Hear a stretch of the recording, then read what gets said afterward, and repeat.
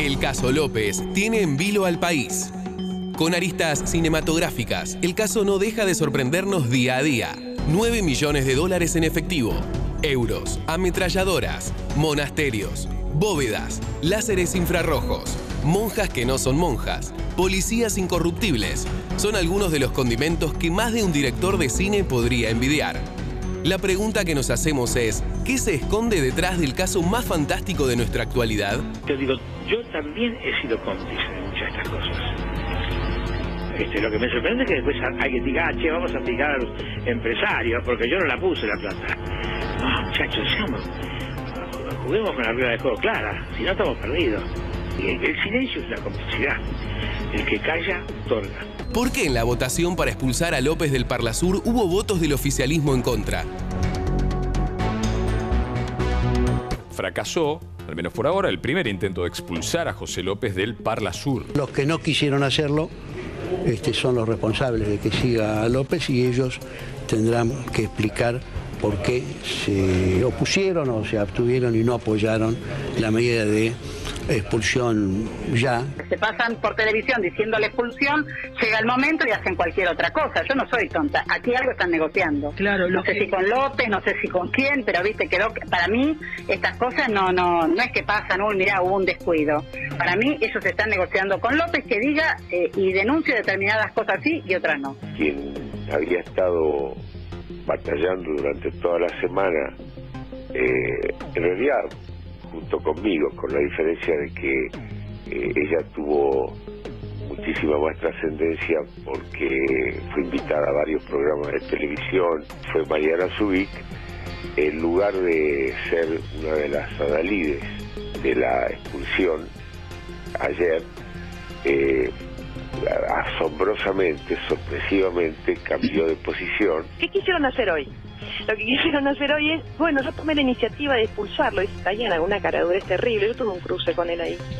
Este, y vamos a tratar esto y lo vamos a expulsar. Entonces le digo, miren muchachos, están equivocados. Sabemos qué es lo que están haciendo. ¿Qué es lo que están haciendo? Show mediático, purle galería. Lo mismo que hicieron con Julio Devido. Pidieron votar bien, para expulsar al parlamentario José López, para tratar de zafar y sacárselo de encima, de una forma improcedente, sin quórum. Quieren desprestigiar al Parlasur y que quieren seguir teniendo el tema López dando vuelta para que Dani al frente para la victoria. Y lo que hace es evitar que otro parlamentario del Frente para la Victoria pueda reasumir. Esto en términos institucionales. En términos políticos, lo que está haciendo Zubich es proteger a José Francisco López. Acá hay, algo extraño que es, una de las personas más cercanas a Mauricio Macri, que es Fabián Rodríguez Simón, y Mariana Zubich, que es una de las personas más cercanas a María Elisa Avelina Carrió, están protegiendo a José López. ¿Quién se beneficia con el caso López? Fernanda Gil Lozano, ella es diputada por el Parlasur. Muchas gracias por estar con nosotras esta tarde. Yo creo que no hace ni falta pregunta después, de, después del tema. No, fue muy loco todo, ¿no? ¿Qué pasó? Mira, yo la verdad que estaba re contenta. Te digo, por primera vez en todo este tiempo estábamos todos de acuerdo. Todos, todos los diputados argentinos estábamos de acuerdo y todos teníamos presentado un proyecto de expulsión de eh, López. No teníamos que explicarle ni siquiera al resto de los parlamentarios porque la imagen dio vuelta al mundo. Es un papelón internacional. Y todos queríamos expulsarlo, separarlo del cuerpo. La verdad que el primero que presentó el proyecto fue el diputado Acef, que es del Frente Una. Después todo, yo acompañé, mira, todo lo que me pidieron, la firma lo acompañé. Este, y estábamos todo bien. Yo ayer a la mañana, muy temprano, tengo la comisión de presupuesto, yo soy vicepresidenta, y me empiezo a, a dar mensajes, mira, el PRO va para atrás. Y yo digo, ¿me están cargando? Yo sinceramente creí que era un chiste. Ahora, lo que dice Mariana Subi que es muy serio. Es muy serio. Mira, lo que diciendo, dice Mariana... acá están tratando de protegerlo de alguna manera eh, y lo están diciendo otros al revés. A ver, eh, Mariana Subi que está mintiendo. Te explico por qué. Esto después va a salir y van a estar todos los números. Yo no estoy inventando nada. Eh, cuando llegó el momento, digamos, ahí incluso en la mesa directiva aparece, yo le digo alias Pepín, porque la verdad que es una persona que tiene tres procesos, dos por defalco y uno por violación a los derechos humanos. Exactamente. para mí es un Sí, delincuente. Como que no termina de ser funcionario, pero está en el medio. Está ahí. No, él está sentado en el directorio de IPF. Claro, es, no es un funcionario encubierto en todo caso. Claro. Pero bueno, este, aparece diciendo que no, cómo no respetamos el debido proceso, qué nos tiene para contar este López. Y la verdad que no es un juicio. Nosotros como parlamentarios podemos Un expulsarlo. hombre que, le, le interrumpo a Fernanda para preguntarle justamente, Javier, a ver, un hombre que no es eh, funcionario público, que por lo menos no tiene ninguna función pública, salvo la de IPF, que podría tratarse de otra cosa, que viene a dar órdenes al resto de los diputados que ya estaban directamente, de, alguna forma, acordados que era lo que iba a pasar con López. Yo prefiero concentrarme en aclararle a la gente que no somos todo lo mismo, que este gobierno y este presidente que tiene un enorme compromiso con la transparencia fue el gobierno que lo atrapó a López, es el gobierno que de alguna manera está a favor de una justicia independiente que de repente se despertó y lo que le reclamamos es que tenga eh, accionar en tiempo real, porque lo necesita la gente para reconstruir la confianza Y entonces, ¿cómo explican es- en las esto que pasó instituciones. ayer? Lo que pasó ayer lo tiene que explicar Zubik, lo tiene que explicar Rodríguez Simón. Lo que tengo absolutamente claro es que el presidente de la Nación y el gobierno nacional está absolutamente en contra de López y definitivamente en contra de que López siga dentro del Parla Sur. Bueno, es muy contradictoria la situación. Eh, por otro lado, yo también, a más allá de seguir con este relato, este, lo que quiero decir es que la justicia se despertó por un montón de material que apareció que no tuvo nada que ver con la justicia ni con este gobierno. Eh, aparecieron cosas, entonces la justicia no le quedó más remedio que actuar, convengamos. Y este gobierno no hizo nada. Aparecieron cosas. Apareció una grabación en el caso de un empresario como es Baez y después apareció realmente esa, ¿Es esa sospechoso grabación. como aparecieron, empezaron a aparecer todas las cosas que empezaron a aparecer? Bienvenidas sean. Yo te lo digo que soy una persona democrática y que no quiero desviar la atención. A mí me llama la atención cómo aparecen las cosas, pero digamos que está bueno que se sepa que hay un delincuente. Yo no lo quiero dentro del cuerpo Para del que, Parlamento. perdón ahí, Fernanda, para que las cosas aparezcan es porque las cosas ocurrieron. Totalmente. Y eso tiene que quedar claro, digo, en serio. Es lo que me yo parece- estoy diciendo, Fernanda, me parece importante lo otro. dejar en claro que, de vuelta, no somos todo lo mismo, que este es un gobierno que estuvo atravesado por la corrupción durante los últimos 12 años y la garantía que nosotros le podemos dar a la gente es que durante el gobierno del presidente Macri jamás va a haber un José López. Y eso el tiempo lo va a poder demostrar. Es raro, ¿no? Porque, por ejemplo, nunca aclaró el tema de Panamá Papers.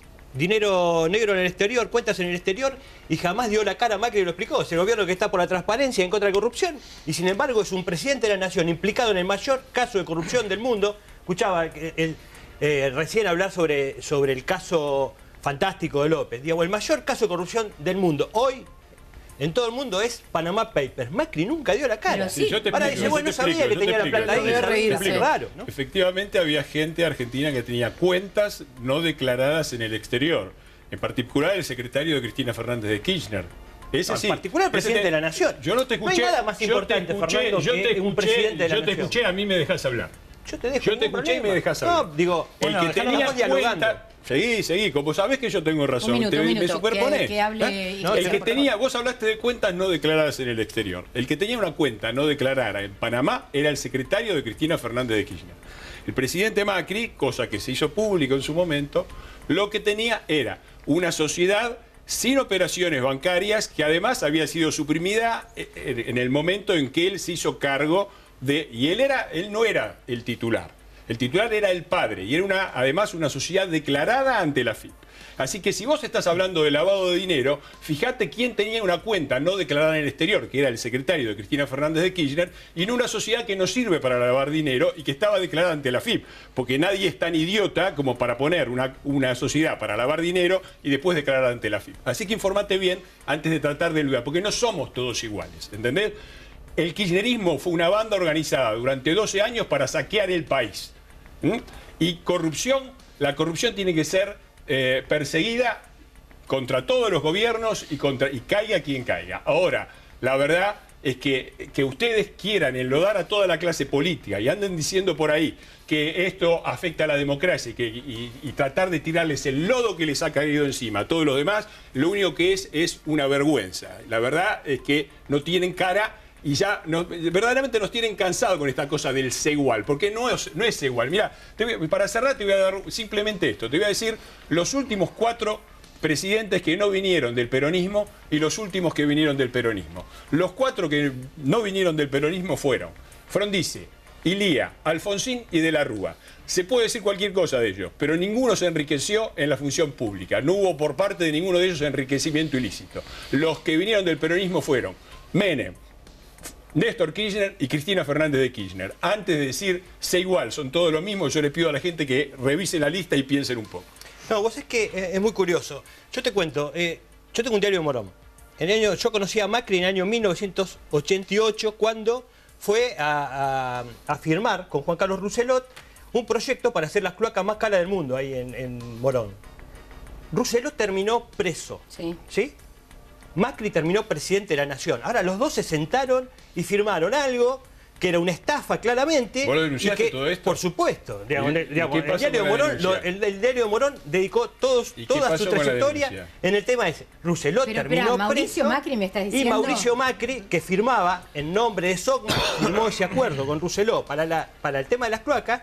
Era, era, un, era contratación directa, sin licitación, tenía dos millones de irregularidades, te las ¿Está puedo contar. penalmente Y esto terminó, no? por supuesto, fue ¿Quién denunciado penalmente. Eh, Fue denunciado penalmente en su momento, por todos. Hubo, hubo eh, tanto en el Consejo Deliberante como en la justicia, hubo actuaciones ¿Y qué al respecto y no se pudieron, no se hicieron las cloacas. Y te cuento, Lucero preso, Macri presidente de la nación. Salió, Pero digamos, pará un sin lugar a minuto, dudas. ¿de qué año ¿Sabés estabas quién- hablando, ¿sabés Romero? quién- ¿Sabés quién intervino? Y bueno, Pasó pero- un trecho no, largo. porque Macri Entre- garantiza la transparencia. No, no, Yo minuto, pero lo que quiero yo decir es que me estás Ah, hablando mira, ahí del está, 80 ahí y la- pico. en ese momento está firmando yo te- yo te- yo te recomiendo, Y yo te cuento, tengo- ¿sabés quién lo liberó? Sí. La Corte Suprema de Justicia de la Nación menemista, digamos. Eso, ¿Saben qué me da la sensación, actuó Romero? tanto en Sebel, cuando fue el contrabando. a ver si está de acuerdo conmigo o no. Em, a mí me da la sensación, y sobre todo en los últimos días, porque venimos escuchando y siguiendo todos estos temas, es que desde el kirchnerismo lo que se hace es atacar porque la verdad que no, no suena de otra forma, atacar la gestión actual y no hacer un, bueno, sí, Claro. señores, es verdad, esto formar parte de nuestro gobierno.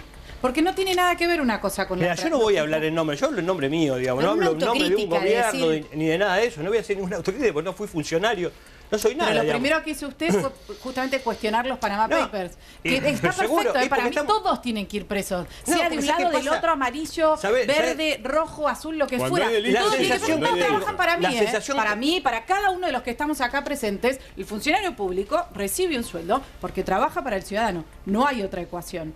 Me parece que si hay corrupción de por medio, se debe ir preso. Salvo Hay lo cambiar- Parla Sur que no nos pagan. Eso es lo único que tenemos que hacer juicio. Porque el señor Macri decidió que los 20 millones de votos que tenemos que nos respaldan, eh, de- eh, eh, para él tiene que esto es Argentina. Sociedad Anónima, ¿viste? Viste, pero tanto que decían que el empresa. Parlasur no existía, que el Parlasur no Sí, existía. existimos. Y no Existía existimos por finalmente. expulsar a López. Existimos porque el PRO se opuso a esa expulsión. La verdad que fue muy Volviendo para a ese fue- tema, creo que esto amerita una explicación. La gente está esperando una explicación. Yo también la estoy esperando, todos lo estamos esperando, discúlpame, pero yo quiero seguir con mi narración. Sí. Cuando él habla de todo esto, de decir el debido proceso, es un disparate, porque nosotros en el artículo 30 del reglamento habla de que la conducta indecorosa, con una mayoría este, calificada, que son los dos tercios, se debe expulsar. Esto no es un juicio. El Parlamento no es que le va a tomar declaración. Todos tenemos algo que decir en la vida, hasta los delincuentes, por supuesto. Ahora, caramba, que se lo diga a la justicia, que se lo diga a su familia, esto es del orden privado. Es decir, ¿qué es lo que tiene que aclarar López, que fue encontrado revoleando, viste, como quien revolea? ¿Usted cree que alguien le tiene miedo a López? Mira, yo, yo digo, ¿por qué pasó esto? La verdad que no lo pudimos expulsar por los votos y la operación que hizo, tanto alias Pepín como Zubik, este, con los otros parlamentarios de un bloque que tienen ahí de terror, este, con Brasil, con Venezuela, fueron los votos que no nos permitieron llegar a la expulsión. Es decir, fue terrible esto. O sea, Ahora, sería una negociación. ¿por qué ¿Usted cree que en el medio hay una negociación Pero por parte del claramente, No, claramente. bueno, para explicar Para mí, gente que se yo le digo a la gente, yo no tengo una sola prueba. Con ¿eh? todo, con todo, con todo el corazón y el cariño que le tengo a Fernanda. Porque fuimos compañeros. Fuimos compañeros de bloque cuatro años, con todo el corazón y el cariño. Yo, la verdad que yo desconozco cómo fue el proceso durante el Parrasur, lo tendrá que explicar Pero Rodríguez Simón y Subi. esto. Pero la verdad es que decir que Carrió y que... No, Carrió no, yo no meto a la doctora No, bueno, Carrió pero en ahí- esto, ¿eh? ahí- no, nada- no estaba ahí Carrió, No, ¿eh? pero yo no, dije estaba que lo dijeras vos. Digo que ahí eh, había un periodista recién al aire diciendo Carrió y el PRO están haciendo un acuerdo con, con- con López. A ver, López fue denunciado, ya viene desde el año 2008, Sí, sí. debido, era el segundo de debido y está denunciado debido como el cajero de la banda mafiosa en el año 2008. Pensar eh, yo no pertenezco más al bloque de la coalición cívica, no tengo ninguna relación directa ni con Mariana Zubich ni con, ni con Carrió, pero la verdad es que pensar que Carrió y Zubich están en una operación para bendecir a López me parece el colmo de los absurdos, me parece que primero hay que quitar esta locura del medio. Después, tendrá que explicar los procedimientos parlamentarios. Yo no estuve siguiendo la sesión, será Zubich y Rodríguez Simón lo que tendrán que explicar. Y no, y no Bueno, pero están no diciendo, perdón, este, Fernanda, mentiras. y no cambiar el acento. Hoy lo procesaron a Debido, lo procesaron a Jaime. Digo, la, corrupción del gobierno kirchnerista sigue dando y generando novedades. Y nosotros estamos discutiendo si discutimos bien o, fui- o hicimos el debido proceso dentro del Parlasur. Está claro que no lo queremos a López en el Parlasur. Estamos de acuerdo en eso. El presidente está de acuerdo en eso. Y quédate tranquila que López no va a estar más en el Parlasur. Espero, espero y decirle también al presidente, si hablas con él, que nos pague, porque es muy importante. Un- Para poder trabajar, tener una oficina, tener un teléfono, poder tener recursos. Yo estoy trabajando con mi teléfono personal. Yo soy una mina que soy de laburo. Yo todo lo que tengo lo tengo trabajando. Entonces, decirle al presidente que tenemos 20 millones de votos los parlamentarios, que nos debe pagar. Es realmente puro derecho. Yo estoy haciendo, realmente inicié, y lo que dice Mariana Zubik también es mentira, porque la contestación de Servini de Cubría fue para otro parlamentario, este, para Carlem, que es un parlamentario que representa Corrientes, que pertenece al Frente para la Victoria. Este, la mía, es, yo hice en el contencioso administrativo porque es de puro derecho. Yo todavía no tuve respuesta. Tuve la respuesta del jefe de gabinete, que no voy a repetir las barbaridades que dijo, porque la verdad que es hacerlo quedar muy mal a él y a toda una gestión que no se merece los disparates jurídicos que dijo.